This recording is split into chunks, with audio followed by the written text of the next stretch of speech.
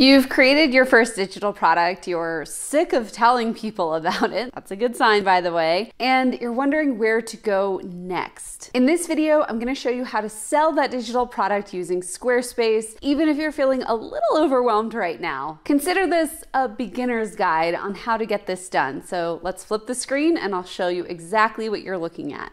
Here we are in Squarespace. So this is what it's going to look like when you log in. This is actually an old site that I started and haven't used in quite a long time. So this was an idea for a business that I had that didn't quite pan out. And so what I'm going to do is first I'm going to subscribe to a commerce plan in Squarespace so that I can set up my first product listing. For the demonstration, I'm just going to do 1 month and now that I have signed up for my commerce plan, obviously, if you are ready to do this, you can do the yearly or you can choose monthly because the site isn't live for me anymore. I'm just going to stick with the monthly. I'm going to go back to my site. And now that this is live, the great thing about Squarespace is that it will prompt you so that you can start earning money through your Squarespace shop. So, for example, we're going to hit continue We'll add some products for sale. I already have some, but I'll just show you really quickly how you might set up a pre sale listing. In order to do that, you'll come down here to this navigation. You can go to your store and you can just add a product here. I'm going to choose a digital product because it's digital. I'll add an image. Obviously, that's not the thumbnail I would use. I would use something that is more akin to what I've taught in other YouTube videos. I would upload the PDF file of what they're downloading.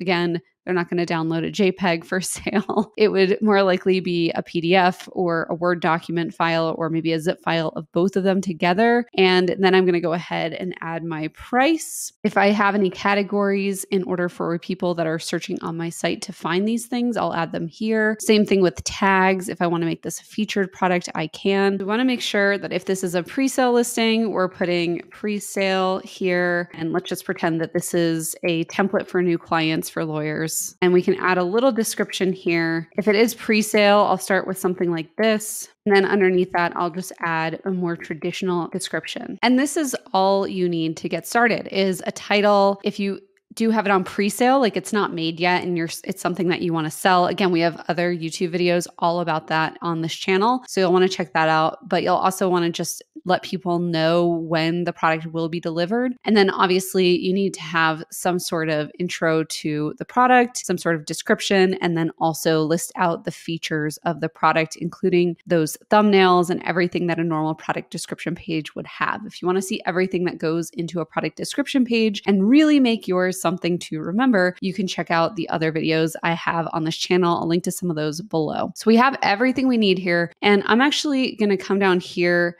the SEO and I'm going to edit this description. So the thing that I'm going to do to edit it is I'm going to actually change the title because I might forget to take the pre-sale out of the title listing and I don't want Google to keep that in the search result for everybody. So I'm just going to change the title and I'll click apply and then that will change it. So you saw it said pre-sale before, now it just says template. When that's all done, I can hit save and publish if I'm ready to start selling this item immediately. It's on pre-sale, so I am am. So I'm going to go ahead and hit save and publish. There's my new product description. And we can just kind of expand this and you can see what this looks like on my site. So whatever photos you have here, they will be able to click through them and they can add it to the cart my card is up here. They can check out and they can purchase my products immediately, relatively easily on Squarespace. They make it pretty easy for your customers to check out. And that's all you have to do to make sure you have your Squarespace listings up and going, even if you don't have